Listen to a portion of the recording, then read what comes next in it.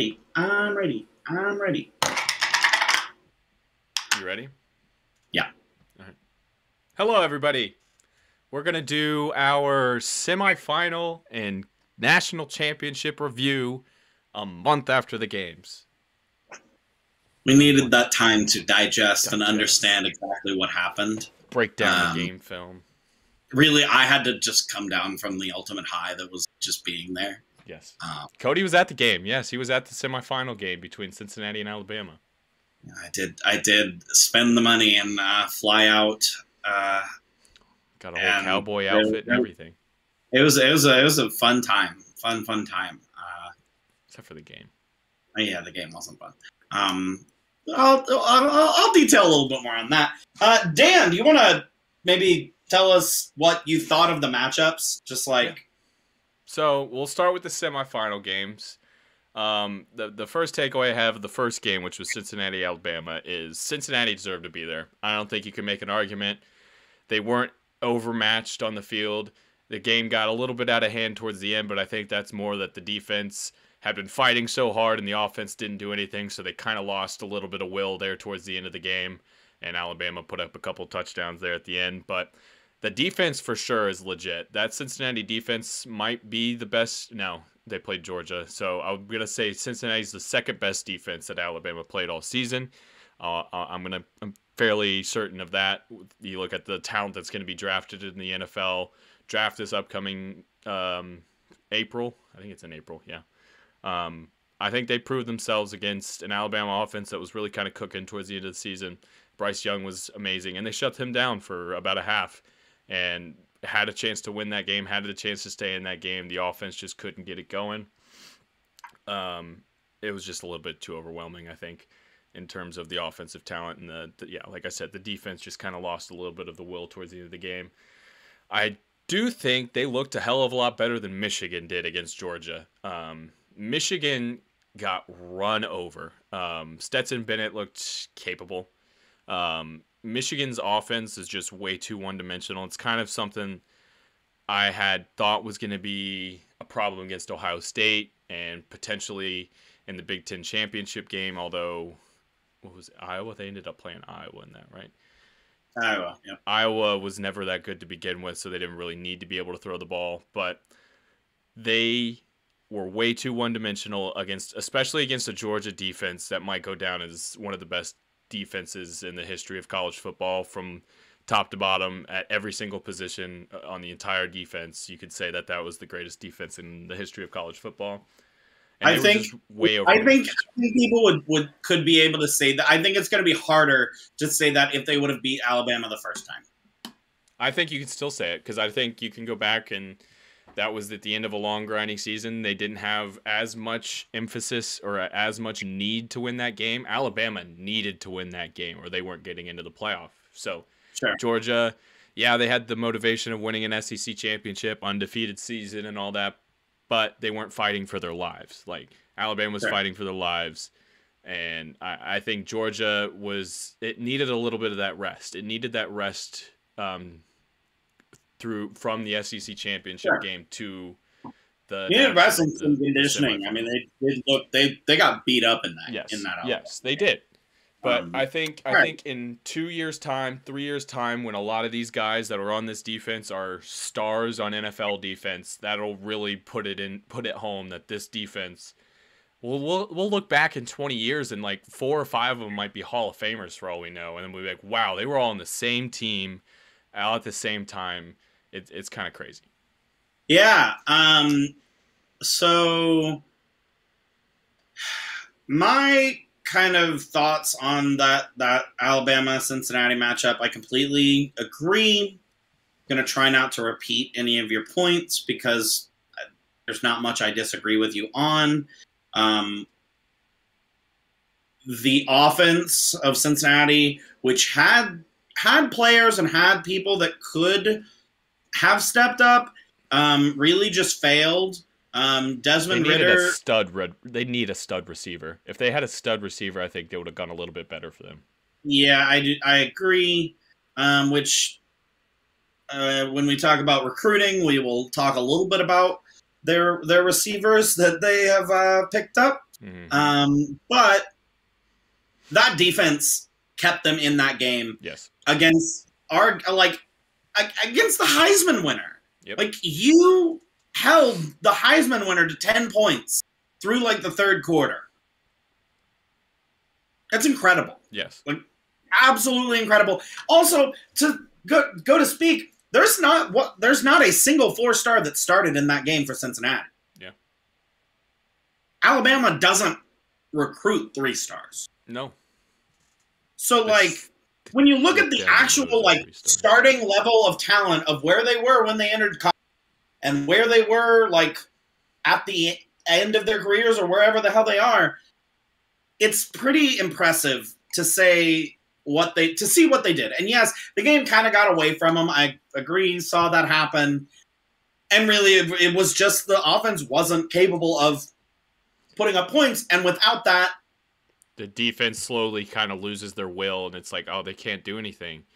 It's not like i mean in in, that situation you're you're grinding and you're you're making stops you're putting your offense in a position where they can at least go down and score some points. They made it down the field a couple of times they just couldn't they they would kick a field goal or they, they couldn't get it into the end zone so Yeah, I, I think at, by the end of that game, you kind of look up at the scoreboard and there's eight minutes left in the fourth, and you're just, it's just like, You we're not get out of that. Do this, yeah. Yeah. Yeah, and like I'm not one I like I always say that, you know, you can't really complain about refing because like if if you can't win the game uh despite the refs then you shouldn't have been there kind of thing. Like always said that. But the refing in that game was pretty bad in my opinion. Um there was holding on literally every single play for Alabama. Like I, I would just watch him like, well, that's a hold, that's a hold, that's a hold, that's a hold. Like I could see it three times on a play, and it Bryce Young would have been sacked four or five times Yeah. if if it weren't for that holding. Um, and they just didn't call it. Which okay, that's fine. Like you can't you can't expect to um to get those calls. Like you you can't. You got to be the better team. If they're not going to Um, call so- it, you can, they're, they're not going to call it then. Yeah, exactly. Um, but I will say that that was kind of like annoying um, because Cincinnati's offensive line did a really good job as compared to the the matchup that they had. Um, All right, well, we can kind of go ahead. sorry. I also think it's it's interesting the amount of guys that had like one or zero offers from Cincinnati. Like the the kid who intercepted Bryce Young um, only had one offer, and it was to Cincinnati. Yeah. Um, that's pretty cool. You, You, know, those stories with the group of five too, like where these get these kids that did not get a bunch of offers and have been put in a system that has allowed them to like kind of grow and mature and become a really good player. And you don't get that with the Alabamas. They, they it's just a bunch of four Yeah. or five stars that are supposed to be destined to be these star players. Yeah, yeah, and it's exciting, like seeing Cincinnati um, where they're at with this. I think that they're going to end up like probably having at least five or six guys drafted this year, and then moving forward, guys on this team specifically. I think that another six, seven, eight could eventually be drafted. Yeah. Um, I mean, you're looking at like maybe 15, 16 guys from this team that are probably going to be in the NFL someday. I agree. That's pretty cool. Yeah. That's pretty cool to me.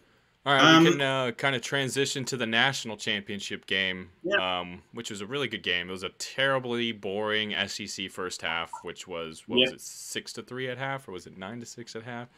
It was something stupid. Yeah, like that. I was was ago, complaining. people. It was a month ago. I can't remember. I was so annoyed. Um, I did. This is like my ultimate worst thing that could happen. I did not want an All SEC national championship again because the SEC just irks me. hmm Because while I realize that they are the best conference, and I'm willing to admit that they are the best conference, they're not the best conference by miles. Yes. And this just gives them ammunition to be like annoying. hmm They had the best two teams this year, and you could argue Alabama halfway through the season wasn't even one of the best four teams in the league. in the in, in the country. I didn't believe they should have been in the top four to start the uh, rankings, let alone number two. Yeah. Um, I'm gonna choose to celebrate um, Georgia and Yep. Stetson Bennett because I think in the end the best team in the country won it all. I think hands down Georgia was the best team consensus pretty much throughout the entire season. They had to slip up in the in the SEC championship game against an Alabama team that had to have that game. Georgia, I don't want to say they weren't, they didn't want to win that game because obviously they won't win that game, but it's not the same motivation levels that an Alabama would have going into that game. Um, and I think, like I said before, this defense is going to be remembered as one of the greatest defenses of all time.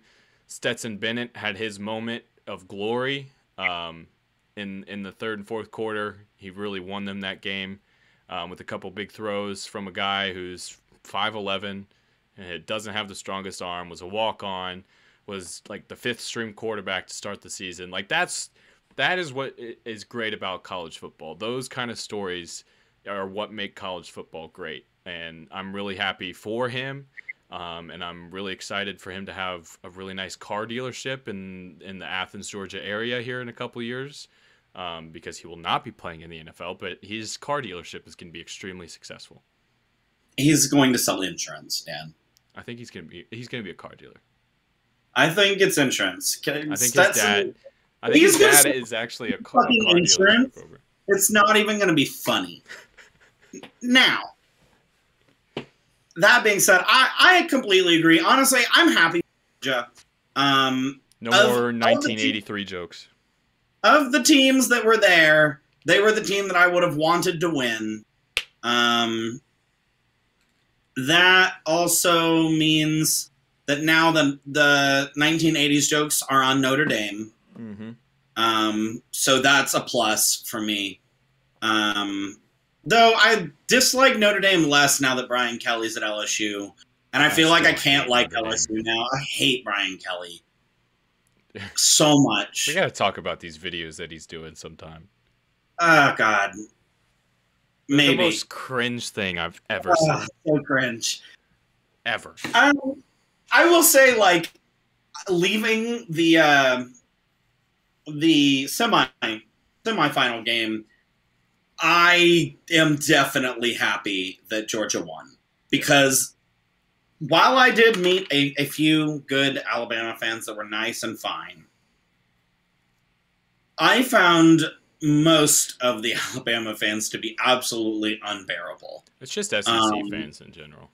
I was I was sitting behind or sitting in front of this guy and I was sitting behind these two girls. They were definitely like students at UC that had driven here. They talked about driving he, driving to Dallas from Cincinnati like like wow, that's pretty cool. Yeah. And they they they're like getting up to like go to the bathroom or something. And this drunk Alabama fan throws a handful of popcorn at them and screams, Roll Tide! and starts screaming at them and like slobbering all over me. And I'm like, all right, like I How know that you, your sir? sister is also your mother, but like calm down, bro. Um someone actually said something like that to him and he just like got belligerent Oh, I'm sure. um, and started like trying to fight people. Like in this moment, like starts trying to fight Cincinnati fans. The police got called. Um, he ended up getting arrested because it, it like they it was Alabama fans that ended up calling the police on him because he was being a complete douche. yeah. Um, just like not cool. And then like on my way out of the stadium, probably thirty or forty people got in my face, tied, and it's like, bro, I get it. You won. You've been here before. Calm down. Learn how to win. You'd think after all of this winning, you would know how to win gracefully. Yes. Um, but I tell you what, if Cincinnati ever plays Alabama again and we win, I am going to be the most nasty motherfucker. I'm going to be screaming "Roll Tide" in these fuckers' faces. I'm going to be nasty. Um, that would be my dream now. Um, I officially hate Alabama fans more than I hate Ohio State fans. Really? Um, yes. Like, if I have to give a grade on how shitty a fan base is, like, Alabama takes an A plus plus on the shitty scale. Ohio State is now at like almost a B comparatively. Um, like man, it's annoying. It's Uh, just, I mean, I, I, Tennessee fans rose way up my like most hated fans list. I imagine. Music I imagine, man. Well, I mean, and that's shit. even worse What's wrong with Ole because? They, they that's even worse because they don't have the success to back it up. They're ignorant Yeah. and they haven't been successful since 1998. yeah, yeah, it's amazing. Um, Purdue has been more successful than you since since for the last 20 years. wild. Yeah, man. I don't know. Um, no, the national with the national championship, the right team, in my opinion. I will say, in the final rankings, they got it. Um, They got it Michigan should not have been ranked third. Yeah, they put like we like No. we said before. Cincinnati looked better in their game against Alabama than Michigan did against Georgia. And, and Michigan should not have been ranked third Michigan was never in that game. Cincinnati was in that game. from the beginning. Since yeah, Cincinnati had a chance to win that game. Like going into the the, the third quarter, halfway through the third quarter, even I would have said, yeah, there's still There's a still chance. a chance. Yes. Not at, once the first quarter was over, Michigan was done. I was like, all right, they're done. hmm All right, so. Uh, That's do you have I got. anything else? Yeah, Nope. I don't have anything else on uh, national champion. Um, looking forward to uh, the season next year. See who surprises us. Um, yeah, that's that's all I got. All right. Well, uh, thanks everybody for watching. Uh, make sure you like, comment on this video. Tell us your month long, month late national championship reactions, playoff reactions down in the comments. Uh, make sure you subscribe for all this this this wonderful content that you're getting. Um, check out our Spotify. Uh, we'll have a link to that down in the description. Also, follow us on Twitter.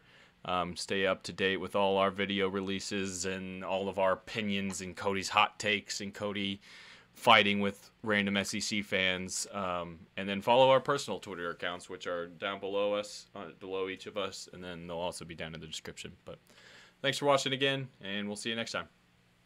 Love you.